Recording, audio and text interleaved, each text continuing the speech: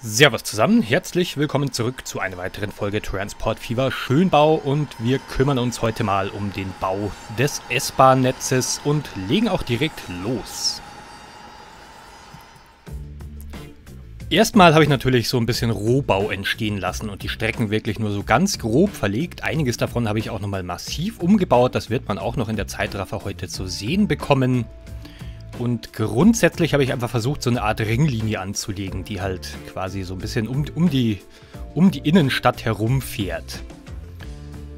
So, S-Bahn wird natürlich nicht das einzige ähm, Verkehrsmittel quasi im Nahverkehr sein, sondern da kommt natürlich noch eine U-Bahn dazu, Schrägstrich Hochbahn. Also ich werde versuchen, diese äh, besagte U-Bahn größtenteils oberirdisch verkehren zu lassen. Das gefällt mir einfach besser. Und, aber es wird natürlich auch ein paar unterirdische Stationen geben, also zum Beispiel am, ha am Hauptbahnhof. Da macht das ja auf jeden Fall Sinn. Parallel dazu habe ich natürlich, mache ich das immer so, dass ich das Straßennetz auch so ein bisschen ausbaue, wie man hier gerade schön sehen kann, genauso wie das Autobahnnetz. Ich mache das halt immer parallel, weil ähm, man kriegt halt sonst unter Umständen einfach Probleme, wenn man sich jetzt nur wirklich auf den Streckenbau fokussiert oder umgekehrt, wenn man sich eine Zeit lang nur auf den Straßenbau fokussiert fokussiert, kriegt man halt dann vielleicht Probleme, dann im Nachhinein noch irgendwie die Strecken vernünftig unterzubringen. Deswegen mache ich das einfach immer zeitgleich. Und das klappt eigentlich mit am besten. So, hier habe ich viel mit diesen Elevated Stations gearbeitet.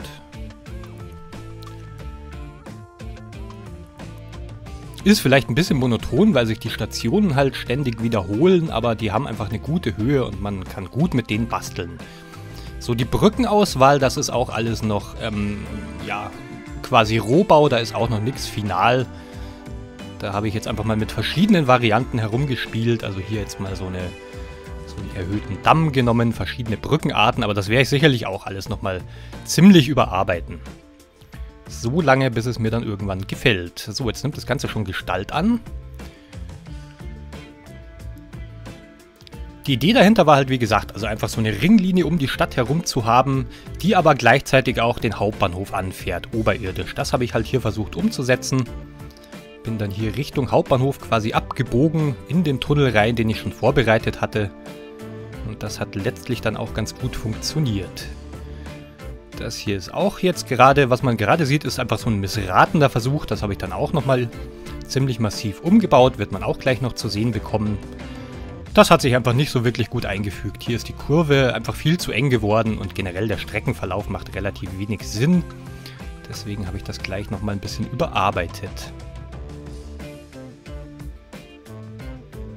Aber da sieht man auch schon ganz gut das, was ich schon mal angesprochen hatte, dass ich eigentlich relativ planlos drauf losbastel, wie es mir halt gefällt. Und wenn es mir dann irgendwann nicht gefällt, wenn ich sehe, das Ergebnis ist nicht zufriedenstellend, dann baue ich halt alles nochmal massiv um. Wichtig ist dabei halt einfach, dass man sich genügend Platz lässt. Und das habe ich eigentlich überall einigermaßen beachtet. So, dann hier wieder mit diesem Tunnelportal gearbeitet. Aus der Track Design Pattern Mod.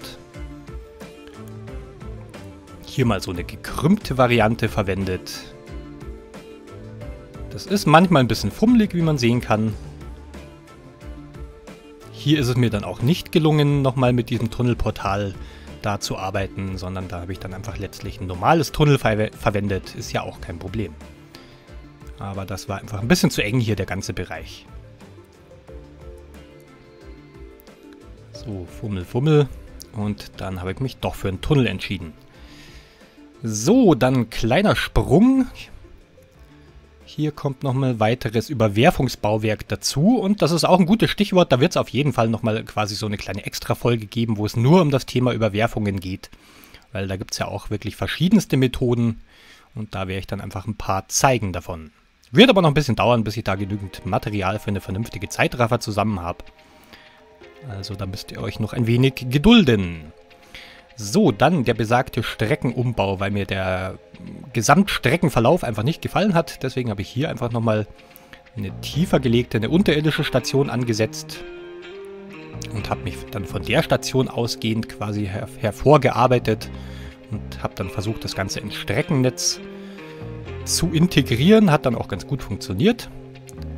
Und so sieht das gleich schon deutlich besser aus.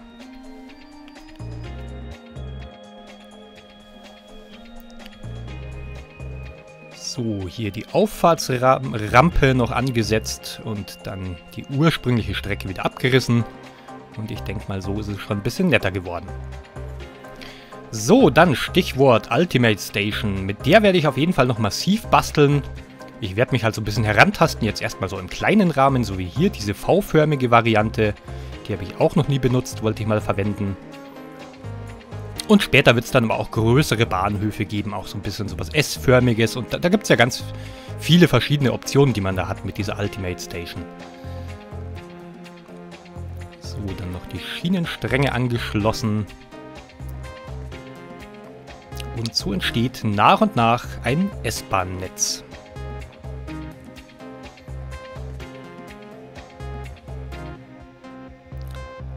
So, dann auch das, was ich schon gesagt habe. Ich mache das ja, wie gesagt, einfach alles immer parallel. Dann wieder ein Stückchen Autobahn bauen, wieder das Straßennetz ein bisschen erweitern. Dann geht es wieder mit den Bahnstrecken weiter.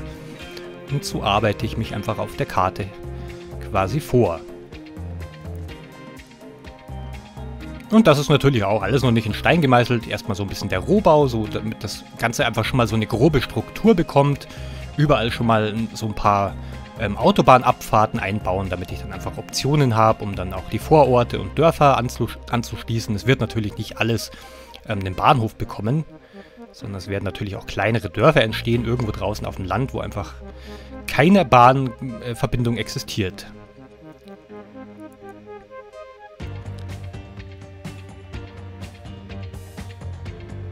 Ist auch echt ein bisschen schade, dass diese Mod nicht noch weiterentwickelt wurde, weil also da gäbe es ja noch ganz, ganz viele Möglichkeiten. Verschiedene Arten von Autobahnkreuzen, verschiedene Arten von Ab- und Auffahrten, von Zubringern. Ich bin trotzdem natürlich dankbar über diese Mod, weil es eine Riesenbereicherung ist, einfach für, für einfach ein schönes Autobahnnetz sich hinzustellen, aber ein paar mehr Optionen wären schon schön gewesen. So, dann hier dieses Überwerfungsbauwerk, was ich am Anfang schon reingestellt habe. Das ist natürlich super schäbig, wenn sich der Bahndamm hier so, hier so präsentiert. Deswegen habe ich das Ganze einfach noch mit dem Dammbau-Mod ausgekleidet. Den findet ihr in Showfreaks Modbox. Dann um diese Geländeaufwerfungen, diese schäbigen Hügel da ein bisschen ähm, wegzubekommen, kann man einfach Straßen verwenden das Gelände quasi glätten. Und dann sieht das auch nicht so verkehrt aus. Und zu guter Letzt habe ich hier noch so einen kleinen Unterwegsbahnhof eingebaut. Das werde ich so in der Art auch öfter machen. Sieht man ja in der Realität recht oft. Bin neulich erst im Train Simulator die Strecke München-Augsburg mal wieder gefahren. Da ist mir das auch aufgefallen. Da liegt halt die Schnellfahrstrecke und unterwegs für die Regiobahn und auch für die S-Bahn sind halt immer wieder diese kleineren ich nenne sie mal Unterwegsbahnhöfe eingebaut.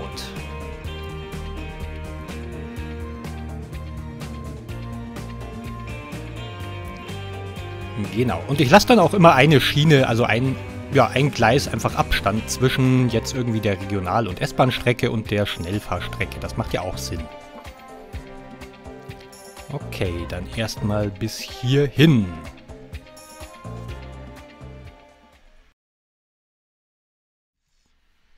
Dann würde ich vorschlagen, wir nehmen das Ganze nochmal kurz hier in-game unter die Lupe. Hier ist jetzt eben dieser Bahnhof, dieser Unterwegsbahnhof, der entstanden ist. Ihr seht schon, da ist jetzt noch eine zweite Schnellfahrstrecke dazugekommen. Ich glaube, dass ich hier sogar schon die ersten Linien verlegt habe. Da müsste... Genau, schauen wir nochmal Linie 1, da verkehrt ICE und was haben wir hier noch unterwegs? Und eine Regionallinie bislang. Auch das ist natürlich alles noch nicht in Stein gemeißelt. Mal schauen, vielleicht ändere ich das noch. Rollmaterial wird ja sowieso erst irgendwann später ein Thema. Also ich habe noch nicht allzu viel dazu genommen, sondern also ich werde jetzt auch keine weiteren Mods mehr dazu nehmen. Erstmal, ich habe knapp 200 Stück und die Modliste mit den Download-Links, die ist jetzt ungefähr ein bisschen mehr als die Hälfte bin ich durch. Und ich werde dann auch erst wieder mehr Mods dazu nehmen, wenn ich diese Liste quasi abgearbeitet habe. So, kann aber noch ein bisschen dauern. Also ich weiß noch nicht genau wann. Schaut einfach immer mal wieder in die Videobeschreibung rein. Wenn es fertig ist, dann wird es natürlich verlinkt. So, der Flughafen ist auch erstmal nur ein Platzhalter. Ähm, das werde ich wahrscheinlich auch, das werde ich so machen, dass ich dann in, ja, nächste Woche wahrscheinlich schon so eine kleine Übersicht mal liefern werde über die ganze Karte. Und dann könnt ihr einfach mal euer Feedback dalassen, wo ihr denkt, wo verschiedene Baubereiche Sinn machen würden. Also zum Beispiel eben ein Messegelände will ich noch entstehen lassen, den Flughafen natürlich, eine Arena, eine Fußballarena wird es geben und da muss ich mir dann noch gut überlegen, wo was äh, sinnvoll unterzubringen ist. So, dann schauen wir mal weiter. Da ist eben dieses Überwerfungsbauwerk entstanden, das ich hier noch mit diesem Bahndamm eingekleidet habe. Auch nicht so verkehrt. Und ich würde sagen, weil das Thema der Folge ist ja größtenteils ähm, S-Bahn-Bau, dann drehen wir einfach nochmal eine Runde hier mit der, mit der frisch gebauten Linie. Steigen hier einfach mal auf offener Strecke ein und drehen nochmal eine kleine Runde.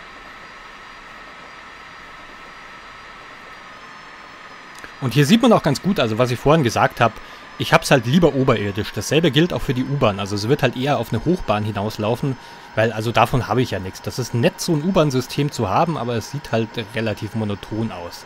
Es gibt zwar inzwischen auch noch eine andere Station, habe ich gesehen. Ah, okay, hier muss ich die Linie noch anpassen. Der sollte natürlich hier halten. Muss ich auch noch ausprobieren, aber ansonsten ist das halt doch, wie gesagt, relativ monoton. Tunnel, ähm, unterirdische Station, Tunnel, unterirdische Station und das ist mir irgendwie ein bisschen zu wenig. Ich mag es halt lieber oberirdisch, dann sieht man einfach auch schön ein bisschen was von der Stadtkulisse und ich denke mal, das ist schon die bessere Lösung. Die Münchner S-Bahn habe ich mir natürlich schon mal gegönnt, die darf natürlich nicht fehlen. Dann hier links die Trasse, ihr seht schon, die hat keine Oberleitung. Das wird dann eben diese U-Bahn-Hochbahn. Und da werde ich dann natürlich auch entsprechendes Rollmaterial verkehren lassen. Dann haben wir hier so ein bisschen so eine kombinierte Station. Leider ist halt auf dem linken Bahnsteig auch die Oberleitung. Das lässt sich halt nicht vermeiden, weil man das nicht äh, separat steuern kann, dass ich sage, hier auf den äh, rechten beiden Gleisen möchte ich eine Oberleitung haben und links keine. Das geht halt nicht. Also entweder oder. Aber so dramatisch finde ich das jetzt auch nicht. Oder ich nehme halt, ich nehme halt zwei Stationen und bastel mir die irgendwie zusammen. Wäre auch noch eine Option. Würde auch funktionieren. Mal schauen.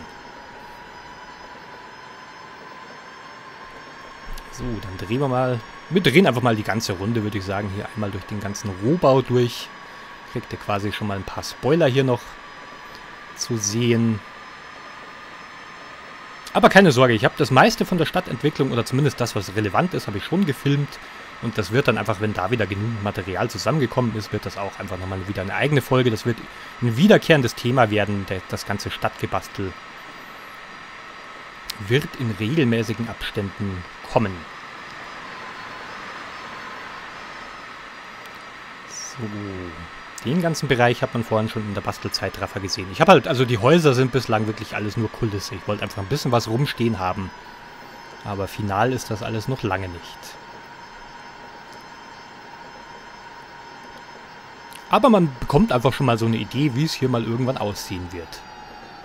Das muss ich auf jeden Fall nochmal ein bisschen umbauen hier. Das gefällt mir nicht, wie diese Zäune so ineinander, durcheinander kreuzen.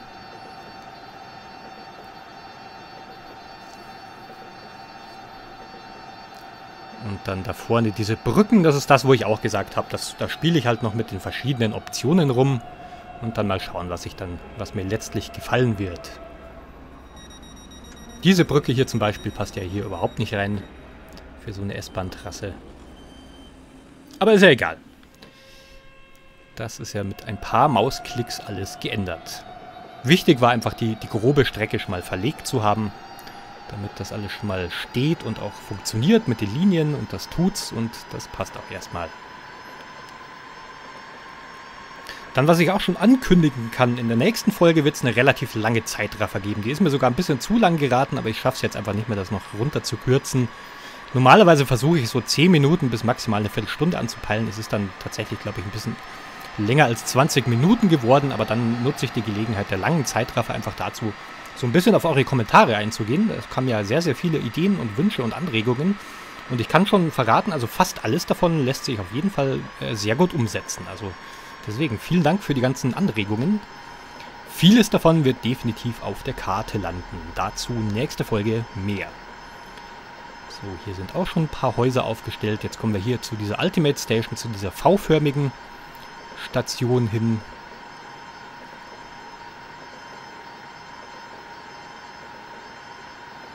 Ist auf jeden Fall sehr, sehr cool, diese Ultimate Station. Da hat man wahnsinnig viele Optionen. Ich habe auch noch längst nicht alles rausgefunden, was man damit machen kann. Also im Großen und Ganzen spiele ich halt so lange mit den ganzen Optionen herum, bis ich irgendwie ein Ergebnis habe, was mir gefällt. Aber so wirklich fit darin bin ich jetzt auch noch nicht. Ist viel Trial and Error. Error einfach. Also viel ausprobieren, wegschmeißen, verwerfen, umbauen. Und irgendwann gefällt es mir dann schon. Da verkehrt schon der Desiro. Werde ich natürlich auch noch äh, entsprechende Repaints dazu nehmen. Hier wird noch so eine kleine Abstellung entstehen. Ein Betriebswerk wird die S-Bahn selbstverständlich auch bekommen, irgendwo in Hauptbahnhofnähe. Also ich habe mir da auch schon, ich habe schon angefangen damit. Der Rohbau steht schon im Großen und Ganzen, wird natürlich auch nochmal eine eigene Folge. Also entweder fasse ich mehrere Betriebswerke in eine Folge zusammen. Das ICE-Betriebswerk ist auch schon relativ weit fortgeschritten. Oder es kriegt jedes Betriebswerk einfach eine eigene Folge, je nachdem wie umfangreich das alles wird. So, hier ist jetzt auch schon ein bisschen mehr Kulisse entstanden. Schrebergartenkolonie auf der rechten Seite. Und die ersten Häuserblöcke sind hier schon entstanden. Das Überwerfungsbauwerk ist so ein bisschen suboptimal, weil halt hier oben die Geschwindigkeit halt dann so auf 50 km/h, 52 km/h hier reduziert wird. Gefällt mir nicht so gut. Das Ding ist einfach insgesamt zu kurz geworden und dann passiert sowas halt mal. So, die ersten Signalbrücken stehen auch schon. Dann diese Station hat man, glaube ich, in der ersten Zeitraffer-Folge schon gesehen. Gefällt mir auch ganz gut, wie sich das hier einfügt.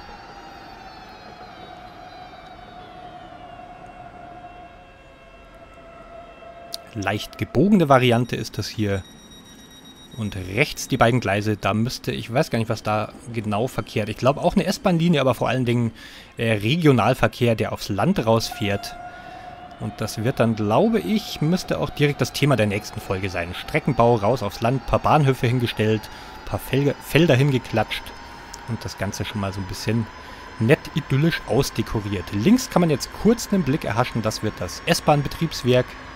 Glaube ich, bin mir gerade nicht ganz sicher. Ich habe schon ein paar Betriebswerksgelände quasi im Rohbau hingestellt. Rechts jetzt kurz im Bild, das wird das ICE-Betriebswerk, die Waschhalle. Mehr konnte man da jetzt noch nicht erkennen. Aber man sieht schon, also es wächst und gedeiht. Hier, je weiter man, also je näher man jetzt hier zum Hauptbahnhof hinkommt, das wird alles so langsam aber sicher einigermaßen ansehnlich, finde ich. Da kommt auch der Fernverkehr gerade reingefahren, aus Österreich kommend.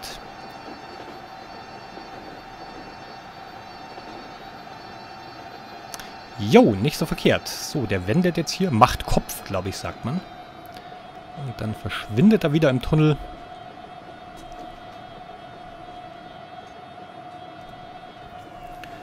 Ja, so ein paar Mikrolags sind jetzt inzwischen, haben sich schon eingeschlichen. Ich weiß noch nicht genau, woran das liegt. Es könnte natürlich auch wirklich irgendeine Mod sein, die vielleicht nicht so performancemäßig optimiert wurde. Ich muss mal schauen. Oder ich muss vielleicht tatsächlich mit den Grafikeinstellungen mal minimal runtergehen. Momentan, glaube ich, habe ich noch alles äh, auf Maximum aufgerissen. Mal schauen, aber also ist ja alles noch akzeptabel, alles gut. Muss ich halt einfach, einfach auf dem Schirm haben. So. Okay, ich denke mal, das sollte genügen für die heutige Folge. Ist doch eh schon relativ lang geworden. Ähm, steigen wir mal aus. Und der verschwindet jetzt eh wieder nur im Tunnel und kommt dann da drüben irgendwo wieder raus. Wir können dem Ganzen, weil vielleicht damit man das nochmal gesehen hat, wie ich die Linie verlegt habe, der Vollständigkeit halber. Der biegt eben jetzt hier wieder in den Tunnel ab.